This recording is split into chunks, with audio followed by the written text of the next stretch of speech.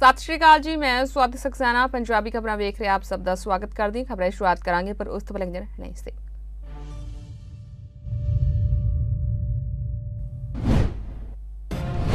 ਸੰਯੁਕਤ ਕਿਸਾਨ ਮੋਰਚੇ ਦੀ ਬੈਠਕ ਅੱਜ ਕਿਸਾਨ ਅੰਦੋਲਨ ਸੰਬੰਧੀ ਅੱਗੇ ਦੀ ਰਣਨੀਤੀ ਤੇ ਕੀਤੀ ਜਾਵੇਗੀ ਵਿਚਾਰ ਚਰਚਾ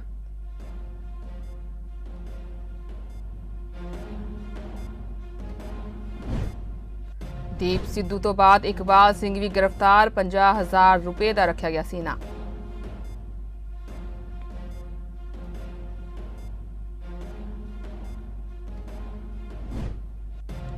ਚੋਣਾਂ ਨੂੰ ਲੈ ਕੇ ਬੀਕੇਯੂ ਉਗਰਾਹ ਦਾ ਵੱਡਾ ਫੈਸਲਾ ਨਹੀਂ ਲੱਗਣ ਦੇਣਗੇ। ਭਾਜਪਾ ਦੇ ਪੋਲਿੰਗ ਬੂਥ, ਭਾਰਤੀ ਕਿਸਾਨ ਯੂਨੀਅਨ ਏਕਤਾ ਉਗਰਾਹ ਵੱਲੋਂ ਅਲਟੀਮੇਟਮ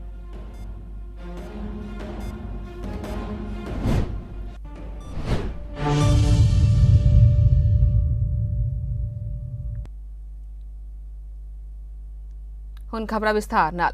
ਨਵੇਂ ਖੇਤੀ ਕਾਨੂੰਨਾਂ ਦੇ ਵਿਰੋਧ ਦੇ ਵਿੱਚ ਦਿੱਲੀ ਦੀਆਂ ਸਰਹੱਦਾਂ ਤੇ ਕਿਸਾਨਾਂ ਦਾ ਅੰਦੋਲਨ ਲਗਾਤਾਰ ਹੀ ਜਾਰੀ ਹੈ ਉੱਥੇ ਅੱਜ ਸਰਕਾਰ ਨਾਲ ਗੱਲਬਾਤ ਦਾ ਰਸਤਾ ਖੋਲਣ ਆਪਣੀਆਂ ਮੰਗਾਂ ਨੂੰ ਲੈ ਕੇ ਦਬਾਅ ਬਣਾਉਣ ਅਤੇ ਅੰਦੋਲਨ ਨੂੰ ਚਲਾਉਣ ਦੀ ਰਣਨੀਤੀ ਤੇ ਸਿਲਸਿਲੇ ਵਿੱਚ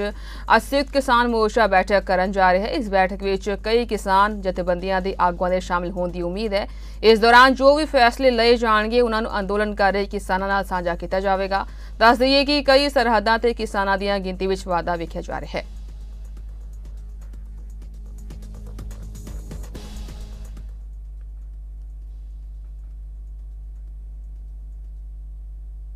ਕਾਜ਼ੀਪੁਰ ਸਰਹੱਦ ਤੇ ਸਵੇਰੇ ਸੰਯੁਕਤ ਕਿਸਾਨ ਮੋਰਚਾ ਦੇ ਕੌਮੀ ਆਗੂ ਰਾਕੇਸ਼ ਟਿਕੈਤ ਨੇ ਸਰਹੱਦ ਨੇੜੇ ਲਗਾਈ ਗਈ ਬੈਰੀਗੇਟਿੰਗ ਦੇ ਲਾਗੇ ਸਫ਼ਾਈ ਮੁਹਿੰਮ ਚਲਾਈ। ਇਸ ਮੌਕੇ ਉਹਨਾਂ ਆਖਿਆ ਕਿ ਅਸੀਂ ਹਮੇਸ਼ਾ ਅਮਨ, ਸ਼ਾਂਤੀ ਅਤੇ ਭਾਈਚਾਰਕ ਸਾਂਝ ਦਾ ਸੁਨੇਹਾ ਦਿੰਦੇ ਹਾਂ, ਜਦੋਂ ਕਿ ਕੇਂਦਰ ਸਰਕਾਰ ਦੀ ਬੇਰੁਖੀ ਕਿਸਾਨਾਂ ਨੂੰ ਸੜਕਾਂ ਤੇ ਸੌਣ ਲਈ ਮਜਬੂਰ ਕਰ ਰਹੀ ਹੈ। ਉਹਨਾਂ ਕਿਹਾ ਹੈ ਕਿ ਤਿੰਨ ਨਵੇਂ ਖੇਤੀ ਕਾਨੂੰਨ ਰੱਦ ਕਰਾਉਣ ਅਤੇ ਐਮਐਸਪੀ ਤੇ ਕਾਨੂੰਨ ਬਣਾਉਣ ਤੋਂ ਬਿਨਾਂ ਸਰਕਾਰ ਨਾਲ ਕੋਈ ਗੱਲਬਾਤ ਨਹੀਂ ਹੋਵੇਗੀ।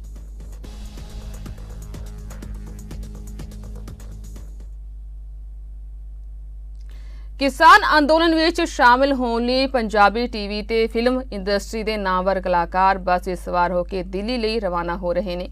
ਇਨ੍ਹਾਂ ਕਲਾਕਾਰਾਂ ਵਿੱਚ ਗੁਰਪ੍ਰੀਤ ਸਿੰਘ ਕੁੱਗੀ ਯੋਗਰਾਜ ਸਿੰਘ ਅਤੇ ਪੰਮੀ ਬਾਈ ਸਮੇਤ ਹੋਰ ਕਈ ਕਲਾਕਾਰ ਸ਼ਾਮਿਲ ਨੇ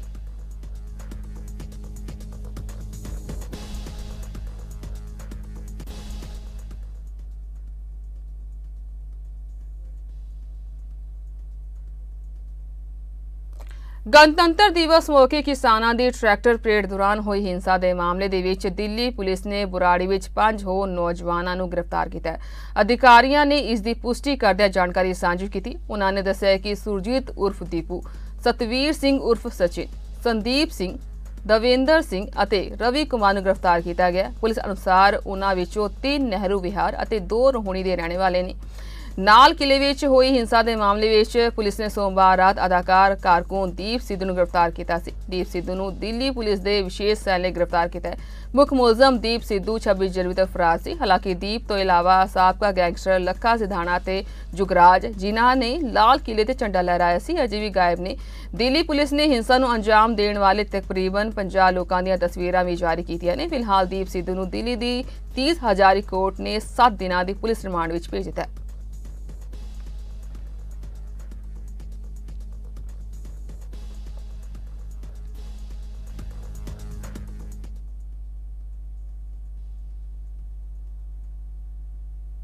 26 ਜਨਵਰੀ ਨੂੰ ਲਾਲ ਕਿਲਾ ਹਿੰਸਾ ਮਾਮਲੇ ਦੇ ਵਿੱਚ ਹੋਰ ਦੋਸ਼ੀ ਇਕਬਾਲ ਸਿੰਘ ਨੂੰ ਸਪੈਸ਼ਲ ਸੈੱਲ ਨੇ ਦੇਰ ਰਾਤ ਹੁਸ਼ਿਆਰਪੁਰ ਦੇ ਪੰਜਾਬ ਤੋਂ ਗ੍ਰਿਫਤਾਰ ਕੀਤਾ ਇਕਬਾਲ ਸਿੰਘ ਦੀ ਗ੍ਰਿਫਤਾਰੀ ਤੇ 50000 ਰੁਪਏ ਦਾ ਇਨਾਮ ਰੱਖਿਆ ਗਿਆ ਸੀ। ਇਹ ਜਾਣਕਾਰੀ ਦਿੱਲੀ ਪੁਲਿਸ ਨੇ ਸਾਂਝੀ ਕੀਤੀ ਹੈ।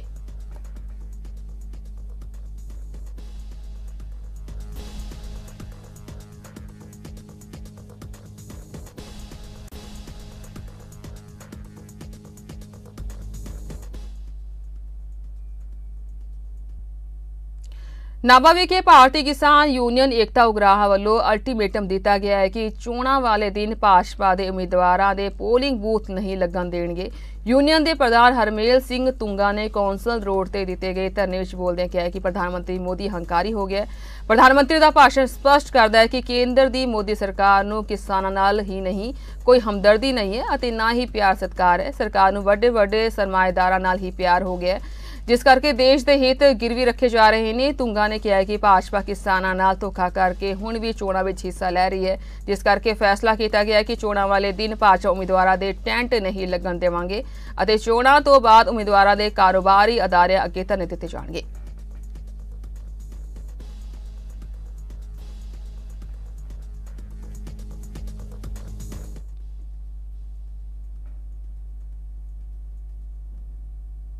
Aam Aadmi Party youth wing ਦੀ ਪੰਜਾਬ ਦੀ ਸਹਿ ਪ੍ਰਧਾਨ ਤੇ ਨਾਮਵਰ ਗਾਇਕਾ ਅਨਮੋਲ ਗਗਨਮਾਨ ਵੱਲੋਂ ਅੱਜ ਨਗਰ ਪੰਚਾਇਤ ਅਜਨਾਲਾ ਤੋਂ ਆਪ ਉਮੀਦਵਾਰਾਂ ਦੇ ਹੱਕ ਵਿੱਚ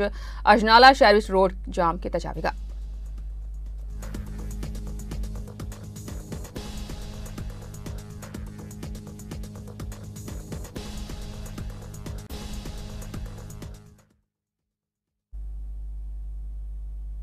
ਉੱਤਰਾਖੰਡ ਦੇ ਚਮੋਲੀ ਜ਼ਿਲ੍ਹੇ ਵਿੱਚ 7 ਤਾਰੀਖ ਨੂੰ ਆਈ ਆਫਤ ਤੋਂ ਬਾਅਦ ਰੈਸਕਿਊ ਆਪਰੇਸ਼ਨ ਅਜੇ ਵੀ ਜਾਰੀ ਹੈ ਤਪਵਨ ਪਾਵਰ ਪ੍ਰੋਜੈਕਟ ਦੀ ਸੁਰੰਗ ਵਿੱਚ ਫਸੇ 34 ਮਜ਼ਦੂਰਾਂ ਨੂੰ ਕੱਢਣ ਦੀ ਕੋਸ਼ਿਸ਼ ਹਾਲੇ ਵੀ ਚੱਲ ਰਹੀ ਹੈ ਸੁਰੰਗ ਦੇ ਇੱਕ ਪਾਸੇ ਫੌਜ ਅਤੇ ਆਈਟੀਬੀਪੀ ਦੇ ਜਵਾਨ ਬਚਾਅ ਕਾਰਜ ਵਿੱਚ ਲੱਗੇ ਹੋਏ ਨੇ ਦੇਰ ਸ਼ਾਮ ਤੋਂ ਸੁਰੰਗ ਦੇ ਦੂਸਰੇ ਪਾਸੇ ਹਵਾਈ ਫੌਜ ਦੇ ਮਹਾਦਸਤੇ ਨੂੰ ਉਤਾਰ ਕੇ ਸੁਰੰਗ ਵਿੱਚ ਰਸਤਾ ਬਣਾਉਣ ਦਾ ਕੰਮ ਵੀ ਸ਼ੁਰੂ ਕੀਤਾ ਗਿਆ ਹੈ ਉਥੇ ਹੀ ਗਲੇਸ਼ੀਅਰ ਟੁੱਟਣ ਨਾਲ ਆਏ ਹੜ੍ਹ ਨਾਲ ਰਿਸ਼ੀ ਗੰਗਾ ਅਤੇ ਤਪਵਨ ਪਾਵਰ ਪ੍ਰੋਜੈਕਟ ਵਿੱਚ ਰੁੜੇ ਕਰੀਬ 200 ਲੋਕਾਂ ਨੂੰ ਐਨਡੀਆਰਐਫ ਅਤੇ ਐਸਡੀਆਰਐਫ ਲੱਭਣ ਵਿੱਚ ਲੱਗੀ ਹੋਈ ਹੈ ਹਾਲੇ ਤੱਕ 32 ਲਾਸ਼ਾਂ ਬਰਾਮਦ ਹੋ ਚੁੱਕੀਆਂ ਨੇ ਜਿਨ੍ਹਾਂ ਵਿੱਚੋਂ ਦੋ ਪੁਲਿਸ ਮੁਲਾਜ਼ਮ ਵੀ ਸ਼ਾਮਿਲ ਨੇ ਕਾਠੀ ਦੇ 11 ਪਿੰਡਾਂ ਦਾ ਸੰਪਰਕ ਪੁਲਾਂ ਦੇ ਰੋਡ ਨਾਲ ਟੁੱਟਿਆ ਹੋਇਆ ਤੇ ਇੱਥੇ ਆਈਟੀਬੀਪੀ ਅਤੇ ਹਵਾਈ ਫੌਜ ਰਾਹੀਂ ਰਸਦ ਪਹੁੰਚਾਈ ਜਾ ਰਹੀ ਹੈ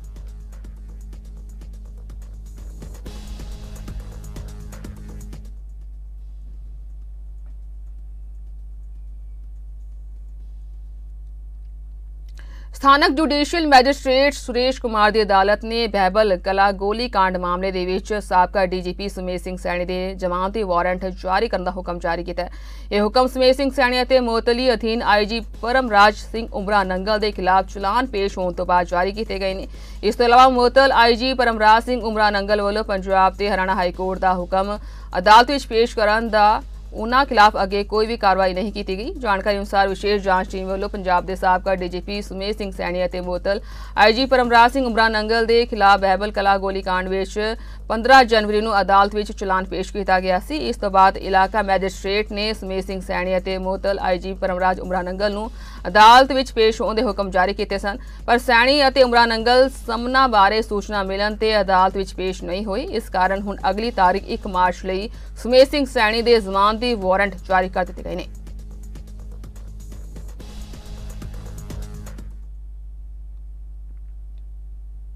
ਇਹ ਜਾਣ ਤੋਂ ਆ ਗਿਆ ਧੰਨਵਾਦ